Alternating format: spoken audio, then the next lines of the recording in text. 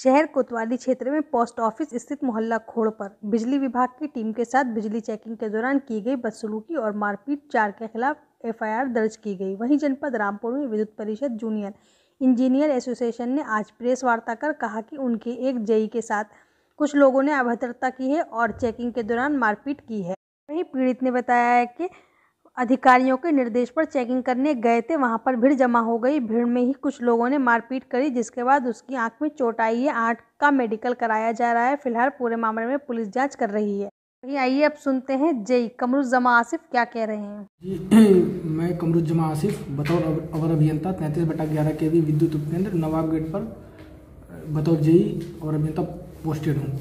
वहाँ पे कल के माननीय अधिशासी अभियंता महोदय विद्युत वितरण खंड प्रथम के व्हाट्सएप पे दिए गए निर्देश कि अगर अवैध केबिनेट जो साइटों पे पड़ी हुई हैं, उनको काट के लाना है और डिवीज़न में इसको जमा करना है।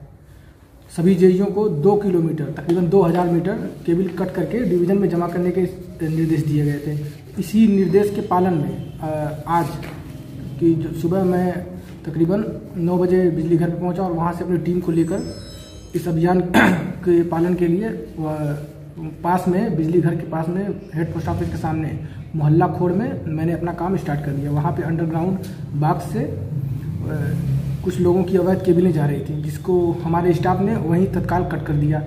और कुछ केबिलें जब अतिरिक्त हम लोग काटने लगे, अतिरिक्त केबिलें तो वहाँ के कुछ स्थानीय लोगों ने विरोध किया, जिसमें गुलवेज पुत्र जहूर और उसके भाई बबलू पुत्र जहूर और उसी स्थान पे गुड्डू गुड्डू नाम के व्यक्तियों ने इसका विरोध किया। विरोध करते करते वहाँ पे काफ़ी भीड़ आसपास के लोग इकट्ठे हो गए और उस भीड़ ने में का फ़ायदा उठाकर गुलवेज ने हम गुलवेज बबलू और कुछ लो, और लोगों ने हम मुझे और मेरे साथी कर्मचारी जो वहाँ पे गए हुए थे उन सब पे से हाथापाई की और मुझे तक दो तीन थप्पड़ मार दिए और स्टाफ को तो भी दो तीन थप्पड़ मार दिए। हमारे साथ हमारे टी भी थे और सरकारी स्टाफ नरेश और संविदा कर्मी।